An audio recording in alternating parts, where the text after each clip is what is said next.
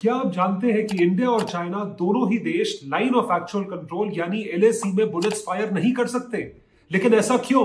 क्योंकि 1996 में इंडिया और चाइना के बीच हुए बॉर्डर अग्रीमेंट में क्लियरली लिखा गया है कि एलएसी के एरिया में कोई बुलेट फायर नहीं की जाएगी। बेहतर जानकारी के लिए आप lieutenant general H S Panag के द्वारा किए गए इस ट्वीट को देख सकते हैं। यहाँ क्लियरली लिखा गया है neither side shall open fire cause biodegradation use hazardous chemicals, conduct blast operations, or hunt with guns and explosive within 2 kilometers from the LAC.